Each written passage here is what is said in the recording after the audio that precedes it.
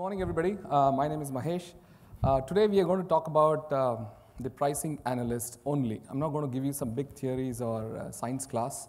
So the core focus is the pricing analyst. Um, we did a survey of about 14 airlines around the world and video recorded what the pricing analysts were saying as the challenges. So some of these things came as an immediate input. So unanimous input of most of these was that we had to do a lot of work. I mean, a lot of work, a lot of manual work. And generally, the feeling was that they were leaving money on the table. Whatever they did, they had to start like zero every day, and they were leaving a lot of money on the table. So we said, when I say we, it was a bunch of airline guys. I used to work in Emirates. And a group of us decided that, okay, it's high time we take up a tough challenge and solve it. And that's the kind of Emirates ethos. So what did we do? We said, let's come up with a platform, and we called it Jupiter. Jupiter obviously is the largest uh, planet with uh, sort of complex. So when we started addressing this problem, one of the biggest uh, challenges was data. As we have heard last two days, data is disparate, and, and to convert every data into the OD platform, which is point of sale OD compartment. Uh, for example, if, if I ask people to convert social media data into a market, uh, it's a kind of a challenge. So we, we took uh, some help from a lot of analytics guys. And the whole idea of first six months of our project was to convert data to make it sensible for pricing. So we actually took the airline data, we took market data like MIDT, PaxIS, um, Infare, ATPCO, and then we started looking at global data because there's a lot of information available in Google and stuff like that, and social media data. And then a lot of data that we wanted, we created. For example, we wanted to create a product database.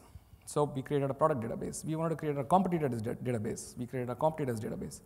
So a combination of all this data, we actually put it into a big lake. We said, let's put that first and then try and solve the problem. Then, of course, started this whole logic of translating it into what is it relevant for pricing. So we started writing algorithms to make sense and bring it down to that point of sale OD compartment and bring it connected back to the ATPCO fare. That took us some time, that took us about a year. And then finally, we started using uh, machine learning and algorithms. Uh, we hired somebody who's in the room here. Prem, are you here somewhere? Can I see you? Wherever he is. I can't see the lights. Oh, there he is. So he used to write code for casinos. So we thought it's a good idea. It's a big gamble. So we hired him, and he started writing game theory uh, applications on this data. And finally, what we have is a proactive mode of working. So what is it now? So the idea was to create fares, create fares, so from scratch. Create a fare, take it to its filing, and maintain its performance, manage it for its lifetime. So that was the intent of the, of the whole platform. Secondly, we had to give easy workflows to make sure that they do it very comfortably. We didn't want things to happen. So the, the whole technology was designed in such a way that previous day, everything happens at night. When the pricing analyst comes, he will see this set of performance parameters fully evaluated using big data analytics and machine learning. So these are the complete set of parameters that he needs to evaluate at any point in time. So we took all these parameters, and then he comes to office using these pricing models. So we, we use multiple models, about 15 models we use. Uh, competitor match, uh, we do a classic oligopoly model, we look at market share based, uh, we look at optimal price points or inventory based, and then we can extrapolate those into these variables that you see in the secondary selections. And then the system recommends for every fare filed, whether public, private, or corporate, or travel agent, it comes up with a recommendation real time. So when they come to office in the morning, the system would have already done this calculation of looking at each and every competitor real time for each market. So we look at the product rating of the competitor, we look at the capacity and schedule of the competitor, we look at the airline rating of the competitor, market rating, fares rating, distributors rating. We do this every night for every market. So once we get this rating, we are able to do complete integration with ATPCO fares. Uh, we actually managed to complete uh, creating a single line record for ATPCO for all the categories. So it's a single line record. Uh, we use a technology called MongoDB, which is a big database, uh, uh, NoSQL database. And in that, we are able to store a single line record of ATPCO. So with the fares in place, this is what the pricing analyst sees when he comes in the morning. So top line is his performance, which is uh, for the current month, for next month, next two months, next three months, which is the visibility that they want to see. All those key parameters that you see on the top. These triggers that you see are the triggers that the system generates the previous day or the, the night before. And it tells you what kind of problems do you have in your data. It, you can do that by uh, origin destination, you can do it by different types, you can do it by status of where it stands. And then the last side, uh, the bottom part of the dashboard, gives you the events that I have to take care of and the results, which is his personal KPIs. So on the, on the rightmost corner, you see his KPIs. All he has to do is click here, and it takes him to a workflow central where it is a one click accept for the fare changes. So we give them all possible fares that needs change based on all those criteria, market by market, or you can select a group of markets, or you can just do a global accept.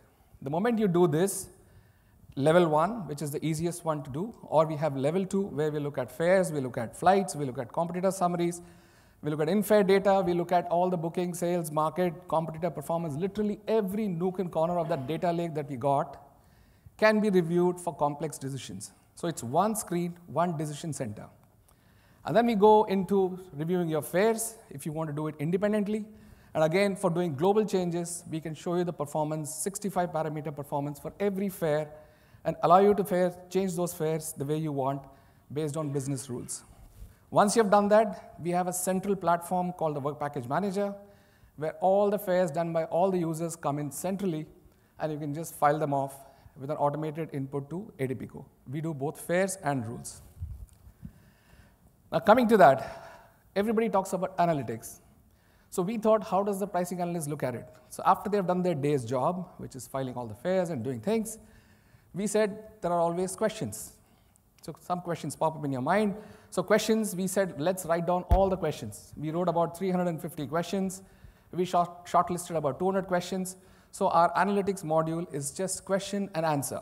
So for example, I want to know what are my junk fares. So ATPCO in Fare Manager has this beautiful feature called junk fares. We upgraded it. Fares that don't work for me also go into the junk fares. So created a question and answer session Click on this, you'll be able to resolve it just like you did before. So each of these analytics questions are questions which you answer and then file it back to ATPCO or manage it. Finally, what is the innovation? So one is, of course, we have about 12 fare models, which, which currently is not available as, I, as, as I'm aware. You can change things. And for most of the activities, they're all templates. You do it once, the system stores it. That's part of the machine learning code we have written. If you've done one promotion one way, it'll store it. You'll just run the same promotion again. Then, of course, we have a number of uh, snap data that we hold, which is completely to ensure that we are able to capture trend for every piece of data that we capture. Finally, this is the profile of the product. Plenty of stuff. It took us about five years to code and build this. Uh, we wanted to be the best kept secret, but we have our first customer right now. Um, next, we want to get into offers, autopilot, and analytics. And last but not the least, that's the team that has done it.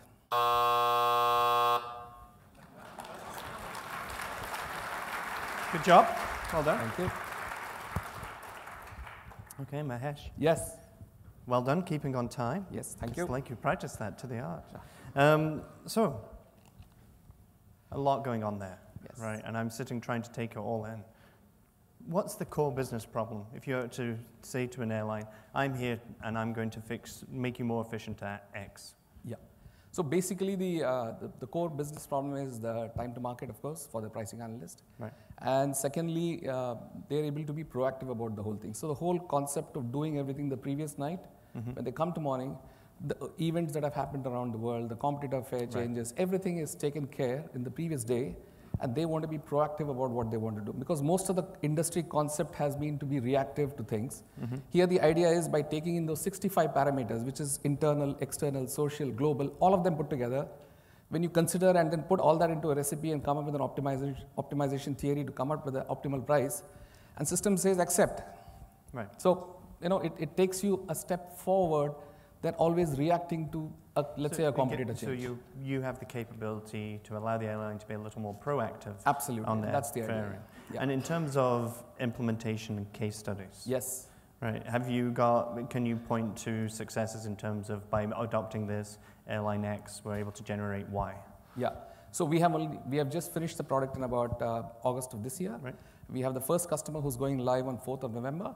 Uh, but we have already seen benefits on the pilot run in terms of the amount of time they save, uh, Okay. in terms of uh, the potential that they have with the number of fares they are floating, and the speed to market is obviously increased in the pilot run. Okay. But obviously, we will need some more time to get the real gist of the, uh, the benefits. But the productivity benefit itself is pretty humongous. Okay. Yeah. Good. Right. Interesting product, lots of data. I like the game theory aspect. Yes. I'm going to come and quiz you on that later on. Absolutely. Please Okay. feel free. And we have Well done. uh, Prem who will answer that. Oh, yeah. And you're also outside, so everybody can come talk to you. Absolutely. Okay. Oh, yeah. Thank you very much.